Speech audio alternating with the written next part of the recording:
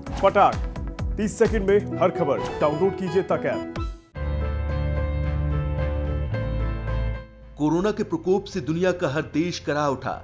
कई देशों की अर्थव्यवस्थाएँ धराशायी हो गई। कारोबार बंद हो गए। नौकरियाँ चली गईं।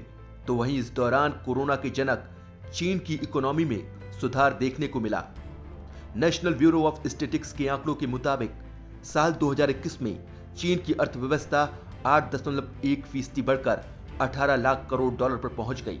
चीन की अर्थव्यवस्था पिछले साल की चौथी तिमाही में 4 फ़ीसदी की दर से बढ़ी है। चीन का फिक्स्ड एसेट निवेश 2021 में साल दर साल 4.9 फ़ीसदी बढ़ा। अचल संपत्ति निवेश 8.56 ट्रिलियन डॉलर से ज़्यादा रहा। जिनपिंग सरकार ने साल 2021 के लिए 6 फ़ीसदी की ग्रोथ रेट का लक्ष्य रखा था।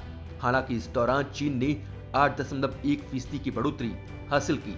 चीन की सरकारी न्यूज़ एजेंसी सिन्हुआ ने कहा है कि चीन की अर्थव्यवस्था ने साल 2021 में कोरोना महामारी सहित कई चुनौतियों के बावजूद स्थिर विकास दर्ज किया है। एनबीएस के मुताबिक चीन के इंडस्ट्रियल प्रोडक्शन में लगातार बढ़ोतरी देखी गई। हाईटेक मैन्युफैक्चरिंग और इक्विपमेंट मैन्युफैक्चरिंग में तेज़ी से विकास देखने को मिला। साल 2021 में चीन की इंडस्ट्रियल एंटरप्राइजेस में 9.6 फ़ीसदी की बढ़ोतरी हुई। सेक्टर्स की बात करें तो माइनिंग में 5.3 फ़ीसदी, मैन्युफैक्चरिंग में 9.8 फ़ीसदी, हाईटेक मैन्युफैक्चरिंग में 18.2 फ़ीसदी, इक्विपमेंट्स मैन्युफैक्चरिंग में 12.9 फ़ीसदी ग्रोथ देखी गई। तो वहीं बिजली, थर्मल पावर, गैस और पानी के प्रोडक्शन और सप्लाई में 11.4 फ़ीसदी की बढ़ोतरी हुई। एनबीएस की माने तो साल 2021 में चीन ने सामान्य तौर पर राष्ट्रीय अर्थव्यवस्था की निरंतर और स्थिर रिकवरी को बनाए रखा। साथ ही दुनिया में आर्थिक विकास और महामारी की रोकथाम में आगे रहा। यही वजह है कि चीन आर्थिक विकास को लेकर तय टारगेट को हासिल करने में सफल रहा है। लेकिन अगला साल, यानी 2022 चीन के लिए चिंताजनक रहने वाला है। विश्व बैंक के मुताबिक साल 2022 में चीन की आर्थिक ग्रोथ तेज़ी से धीमी होगी। विश्व बैंक ने अपने 2022 के आर्थिक पूर्वानुमान को भी पाँच दशमलव चार फ़ीसदी से घटाकर पाँच दशमलव एक फ़ीसदी कर दिया है, जो साल 1990 के बाद से चीन के लिए विकास की दूसरी सबसे धीमी रफ्तार है।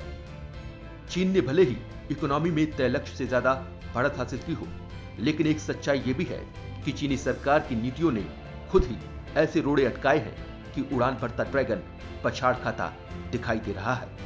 चीन की आर्थिक प्रगति में देश के रियल एस्टेट सेक्टर और आईटी सेक्टर ने महत्वपूर्ण भूमिका निभाई थी। लेकिन 2021 में इन दोनों ही सेक्टर की नींव हिलती नज़र आई।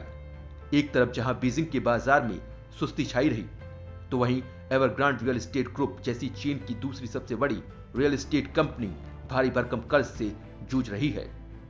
एवरग्रांड पर दिवालिया होने का खतरा है। दूसरी ओर अलीबाबा और टेंसेंट जैसे टेक दिग्गज कंपनियों पर शिकंजा कसने से यहाँ भी संकट पैदा हो गया है। इन संकट के चलते अब निवेशक भी चीन से किनारा काटने लगे हैं।